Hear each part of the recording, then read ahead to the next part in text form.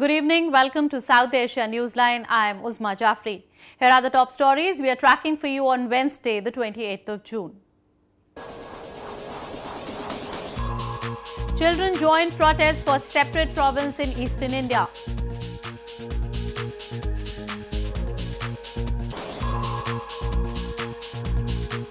Large voter turnout recorded at second phase of polls in Nepal.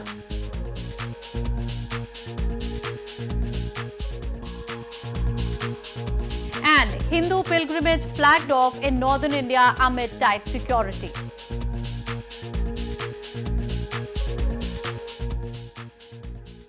And now for all the details. Indian Prime Minister Narendra Modi's two-day visit to the United States is touted to further strengthen bilateral ties between the two countries. Apart from vowing to further strengthen India-US defense and security partnership, a common goal to destroy terrorist organizations also dominated the visit.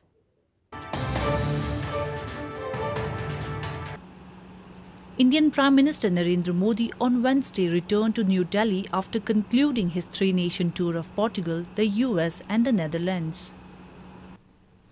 The highlight of the trip was, however, Prime Minister Modi's meet with US President Donald Trump for the first time in Washington on June 26.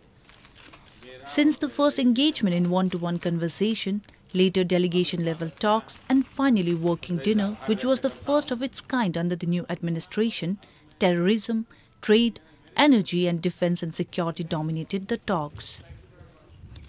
In a clear and direct reference to Pakistan sponsored cross border terrorism, the two leaders in a joint statement called on Pakistan to ensure that its territory is not used to launch terrorist attacks on other countries. However, issues of H-1B visas and climate change did not figure in the talks, which has been the growing concern for Indians working in the US. The US State Department described the trip to Washington as a successful one. Meanwhile, supporters demanding separate province for ethnic Indian origin Nepalis set fire to the office of the Gorkhaland Territorial Administration on Wednesday. Children also took to streets and participated in the protest in India's eastern hill town of Darjeeling. Supporters of Gorkha Janmukti Morcha, a regional party in India's eastern Darjeeling, set ablaze an office of the Gorkhaland Territorial Administration or GTA on Wednesday. On day 14 of the indefinite shutdown, even children in Darjeeling have become a part of this movement of demanding a separate province carved out of eastern West Bengal. The police and security forces were seen patrolling the streets and keeping a tight vigil on all entry and exit routes. हमारा यहाँ पे कोई गोला बारूद का आंदोलन नहीं है हम सब सिर्फ अपना शरीर के साथ आए हैं विदाउट आर्म्स विदाउट कुछ हम यहाँ पे आंदोलन कर रहे हैं लेकिन यहाँ पे बोलने वालों को भी जिस तरह से हमारे लीडर्स को अरेस्ट कर रहे हैं इसके विरोध में आज हम लोग यहाँ पे प्रदर्शन कर रहे हैं Earlier on Tuesday, the party burnt copies of the tripartite GTA Accord at several places in Darjeeling. The burning of the accord symbolizes total rejection of the agreement into the struggle for statehood. Staying on news from India. India's opposition presidential candidate Meira Kumar filed her nomination on Wednesday. Congress Party President Sonia Gandhi, former Prime Minister Manmohan Singh and other senior opposition leaders were present at the event. Kumar is a five-time member of parliament and has served as the Speaker of the lower house of parliament or Lok Sabha and was also a former diplomat. She faces the ruling Bharatiya Janata Party-led National Democratic Alliance presidential candidate Ram Nath Kovind. Both Kumar and Kovind belong to the Dalit community. Kumar had earlier said that caste identification should not play a role in election to the high office. The presidential elections are set to take place on July 17 and counting will take place on July 24.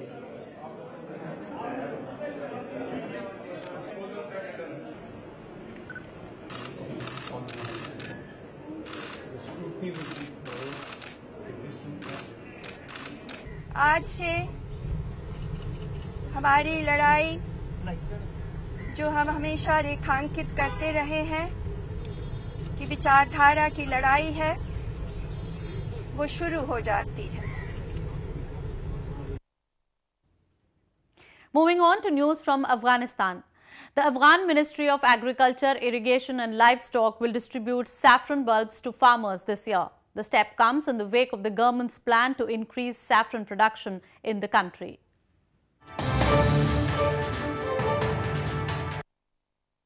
The Afghan Ministry of Agriculture, Irrigation and Livestock will distribute more than 500 tons of saffron bulbs to farmers in 30 provinces this year. According to the ministry, this step will be the launch of a five year plan to increase saffron production in the country. Officials said they will also start issuing saffron quality certificates. در نظر داریم که در سال 1396 برای 20 شرکت سرتیفیکت آیسو یا سرتیفیکتی که اجازه میده محصولات زعفران افغانستان به بازارهای بیرونی را پیدا بکنه و به فروش برسه این سرتیفیکت در تدارک هستیم که بر شرکت های خصوصی بگیریم At present, the Herat province produces 90% of the country's saffron.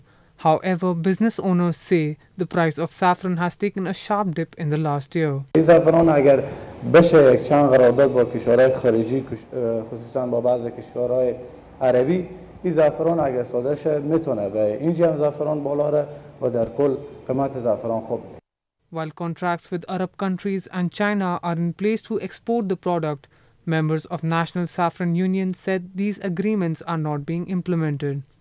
Afghanistan produces around 4 tons a year and the cultivation has long been seen as an alternative crop to opium poppies for farmers. Meanwhile, long hours of power outages in Pakistan administered Kashmir have left the locals sweating in the scorching heat. Rising temperatures have led locals to take shelter under waterfalls for respite.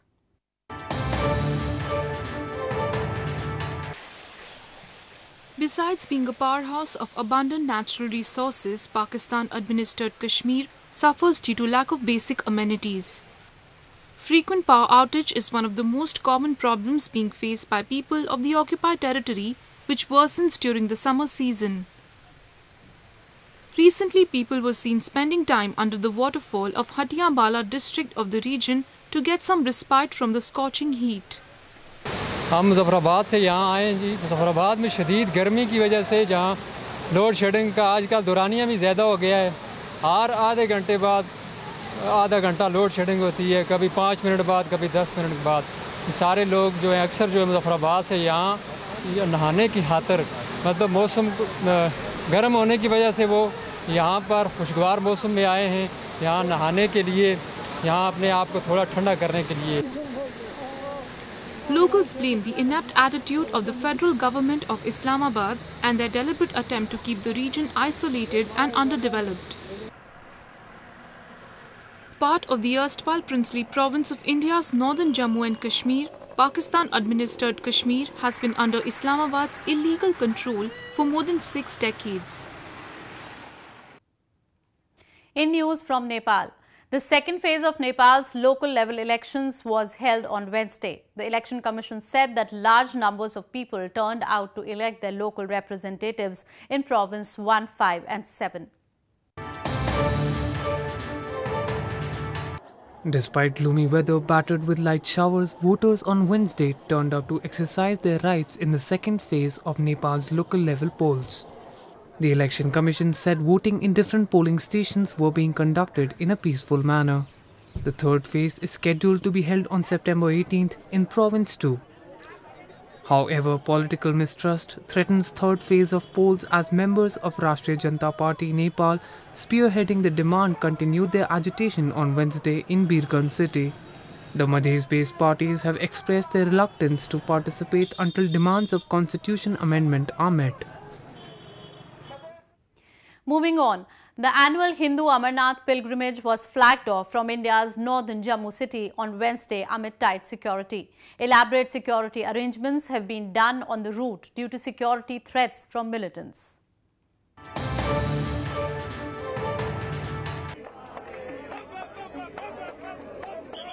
The annual Hindu pilgrimage of Amarnath in India's northern Jammu and Kashmir province began on Wednesday amid tight security. The first batch of nearly 2,000 pilgrims left the base camp in Jammu city chanting the name of Hindu god Lord Shiva. The pilgrimage leads devotees through monsoon rain swollen streams and past a glacier fed lake to a cave shrine, one of the holiest in Hinduism.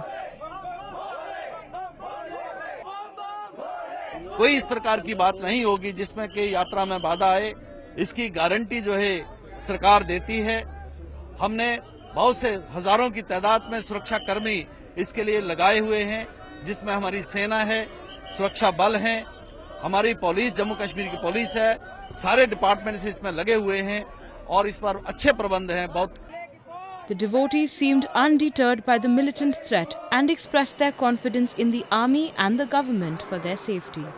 The pilgrimage will conclude on August 7th. Around 10,000 women on Tuesday prayed and welcomed River Narmada waters at a dam site in India's western Gujarat province. The river water, which has been brought to the dam site as a part of an irrigation project, is also expected to solve the water crisis of the area.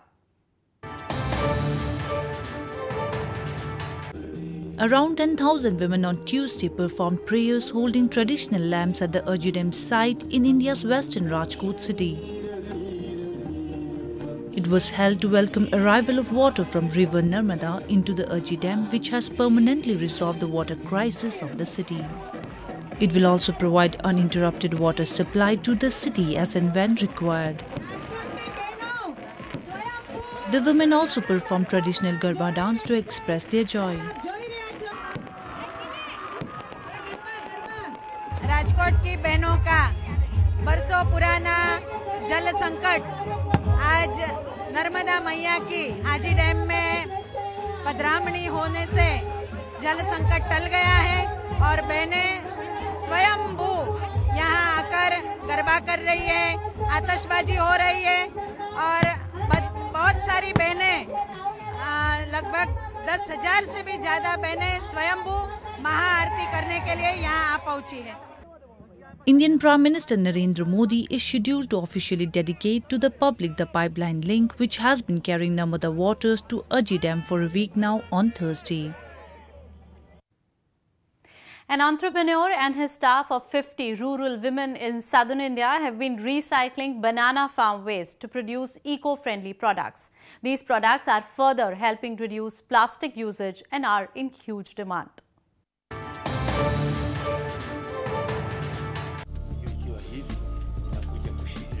Banana byproducts like leaves and stems are used for a variety of food and non-food applications, including a potential source of bioethanol. An agricultural entrepreneur from India's southern Tamil Nadu province has also taken a different route. Murugesan and his staff of 50 rural women make products like window screens, baskets and other storage containers from banana farm waste. போன்ற அதே வாழை மட்டையிலேருந்தே கூடைகள் பல வண்ண கூடைகள் செஞ்சு வெளிநாடுகளுக்கு sample அனுப்பி அதில் மூலயமா ஆர்டர் எடுத்து பண்ணிக்கிட்டு இருக்கோம் இது போக பிளாஸ்டிக் மாற்று பொருளாக இருக்கிறனால எல்லா தரப்பு மக்களும் இதை விரும்புகிறாங்க A school dropout, the 51 year old came up with the idea of using banana waste when he saw it being dumped and burnt while growing up in a village. The farmer turned entrepreneur collaborated with engineers of the Indian Institute of Technology to develop a machine powered by a bicycle wheel. A handful of raw fiber is picked and spun on the machine and coils of rope roll out. Well, that's the way it was in South Asia this evening. Before we conclude, the top stories once again. Children join protests for separate province in eastern India.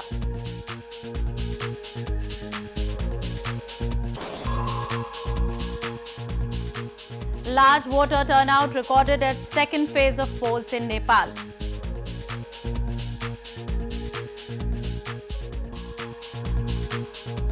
And Hindu pilgrimage flagged off in northern India amid tight security.